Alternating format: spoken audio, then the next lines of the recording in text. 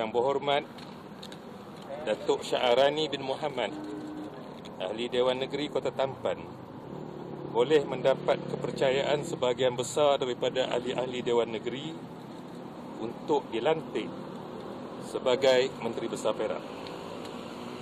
Baginda menetapkan 24 Rabiul Akhir 1442 bersamaan 10 Disember 2020 iaitu pagi besok Khamis jam 11 pagi untuk istiadat mengangkat sumpah jawatan Menteri Besar di Istana Iskandaria.